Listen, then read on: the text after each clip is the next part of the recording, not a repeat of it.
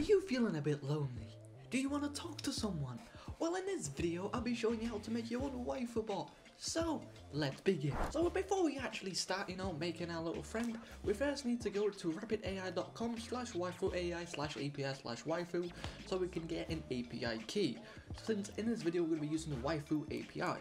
So what you want to do is go to pricing, select the basic plan, you could go for pro, they're basically the same. The only thing that really changes is that with pro, you'll be charged one cent every request, but after 30, 31,000 you know requests. Other than that, just like that, sign up to the thing, and if you go to endpoints down here and scroll down a bit, you will see the Xrapid API key. You gotta save that because that'll be useful since we're gonna be using that to, you know, communicate with the API. So after that, just set up your bot like you usually do. Um, you can use an existing bot, it doesn't really matter, and basically let's code. So the first thing we're going to do is import three different modules. The first one being JSON, since we're going to do JSON requests. And next, we need to import AIOHTTP, which will basically request stuff to the API. And then lastly, we need RE. I'm not bothered explaining what this is because personally I don't even know. But other than that, just request, basically import it and we'll be good. So the next thing we really need to do is actually make four different variables. I think it's four, maybe six, I don't remember. The first variable is going to be bot underscore name and you can name this to anything you want. For this time I'm going to do waifu since, you know, we're creating a waifu. Then we're going to create another variable called situation. As the name suggests, it's pretty self-explanatory. I guess that could do, I mean, we can do that, I guess. That's a bit weird, but um, situation, it's the situation your bot will be in. In this situation, we're going to be both hella horny apparently, but, you know, whatever. And then next, we need the API key. The API key is the key that you got from here, so basically what we do is just copy the key, down here and then just paste it into the thing down here. As you can see, I already have the API key imported. And then lastly, what we need to do is translate from, which is the language it's going to translate from. For example, you might be speaking in Russian. So you change that to Russian, but for us to be English, and then we're translating it to English or any other language of your choice. So after that, these are our five variables done, it wasn't four we can now create ourselves a function. So we're going to create this function waifu AI query with three different parameters. First one being the query, next being the user ID, and then being the username. These are pretty sexoplanatory, sexoplanatory. So now we, so what we're going to do is create a query string. So just type in query string and curly brackets. We're now going to do a query string. The first one is being the user ID, which is going to take the parameter of user ID. Next, we're going to have message, which is going to be the query. Then we're going to do from name, which is the username. And then we're going to do to name, which is the bot name.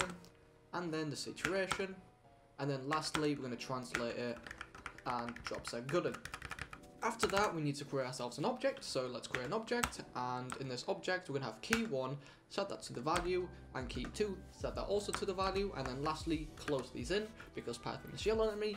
And now we need to transfer that from a Python object to a JSON object. So how do we do that?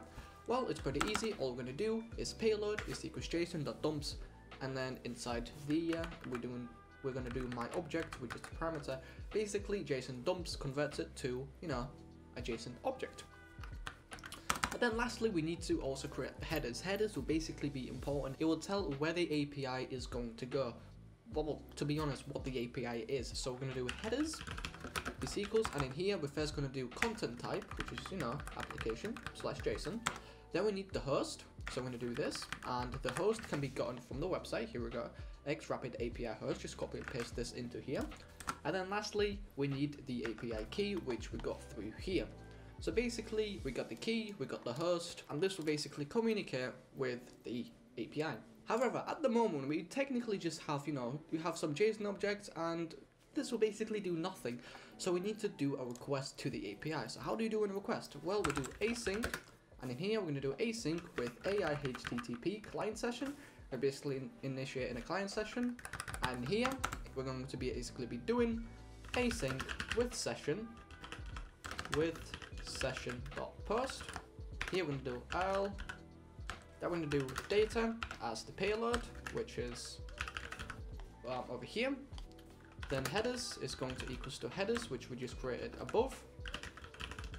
And then params can actually spell it, params is equals to query string as response And before we actually continue, as you can see down here, we have an L thing that's basically says, oh, it's not defined. What do we do here? Basically, at the top of this function down here, just type in URL and set that to https slash slash waifu.p.rapidapi.com slash path. So just do that down here. I'm gonna get this code available on GitHub. Um, but other than that, um, basically back to our function down here. And here we're gonna and here we're gonna do reply is equals to await response dot text. And inside here we're gonna and inside here we're gonna do encoding and set that to UTF-8. And all this basically is is just an encoder as you know this suggests as this basically suggests. And then outside this we are just going to do return reply. So we're returning the reply we just got from the API. So basically we're you know doing a request to the API, we're sending some data, we're returning some data, and the returned data will be returned from this function. So now um, below the our event function, if you have one, we're to do another event, so do event, and it's going to be called on underscore message. And inside of here, we're going to have parameter of message. So now we have to do some, you know, checks to see if the message is from a user, not from the bot. So to do this, we're to do if message.author is equals to bot.author. Then we're going to return it. elif if the message is from, from the bot, then we're also going to return it. However, if message.content dot starts with, and then we'd have prefix, you can set up anything to really want. I'm going to be a retard and set that to uru. Um, if it starts with uru, then we are going to basically run this function. So how do we do that? Well, first we're going to do a cool little thing. We're going to basically have an illusion that the bot is typing. So to do that, we're first going to do async define. Actually, it's going to be async with message dot channel dot typing. And here we're going to do query is equals re dot sub nothing. And then nothing here again. And then last layer, last, we're going to do message.content. And then we're going to do response is equals to await waifu and then we're calling this function now and then putting some parameters in. First one being the query, which is one the one down here. Then we're going to do message the author ID to get, you know, the author's um, ID and then the author's name down here. And then lastly, we're just going to basically do a message, send a message back to the channel, and then we can actually return this event. So basically now if um, the user types in uru and then something afterwards, we're going to go through this function, return some data, and then when we return some data, we're going to print it out, and then we're returning from this on message event. So now if we just do F5, go to our public one, as you can see my bot is here running, so now if we do uru how are you?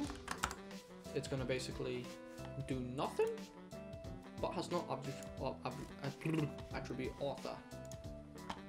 Right, this is supposed to be bot.user, not bot.author. So if now do bot.user and we load the bot, this time it should 100% work. So now if we do uru, how are you? There you go, Hanukkah is typing. And then that's a weird thing to say, but um, now you have someone to talk to um, if you don't have a girl, just like me, because I'm fucking sad. Other than that, um, hope you enjoyed this video. Subscribe to this channel. Comment down any other stupid ideas you want to have. Join my Discord community, because we always do this stupid, stupid shit on stream. Other than that, see you guys, and bye-bye.